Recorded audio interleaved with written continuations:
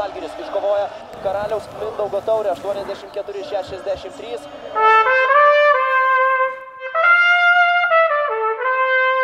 Kas čia nedirbo su tribom vaikšto? Prašom, prašom, užeikit. Sveiki, merė. O, kas čia groja? Aišku, viskas. Labas, Vytautai. Sveiki.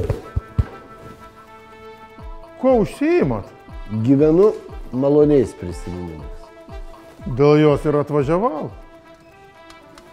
Greit metai prabėgo. Tau pirmam noriu pasakyti. Karaliaus Mindaugo taurės turnyras vyks Klaipėdoje. Iki pasimatymo, Visvaldai. Atvažiuosim. Vytautai, triubą palikai. Vasario 17 atveši Klaipėdą. Būtinai.